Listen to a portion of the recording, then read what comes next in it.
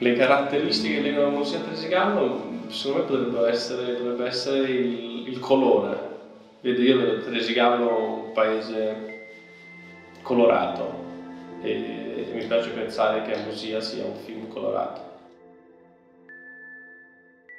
Direi che parte tutto da, dall'edificio Sogni, del quale sono venuto a conoscenza in un secondo momento. Inizialmente a me interessava l'architettura razionale, Emilia, accostata alla pianura del paesaggio.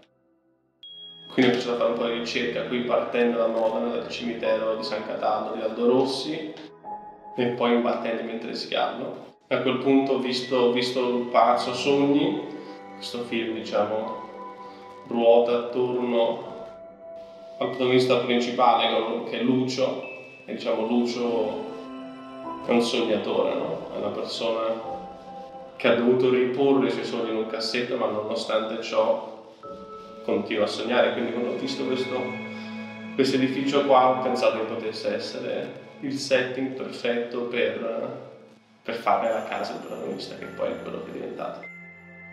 Beh, è meraviglioso un po' perché essendo un, un, paese, un paese, piccolo si ha tutti un po' la, la sensazione di stare quasi dentro una forma una specie di cinecittà, sembra di stare tutto che sia tutto un piccolo set, quindi questo aiuta anche a, a, ad avvicinare le persone che lavorano, a, a, creare un effetto squadra.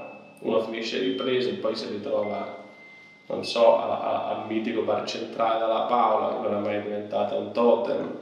E, in generale riconosce il territorio e sei un po' dentro una bolla e quindi io credo che per girare un film questo aiuti molto perché è un lavoro di squadra e quindi se uno riesce a creare l'effetto squadra le cose vanno sempre in maniera più liscia.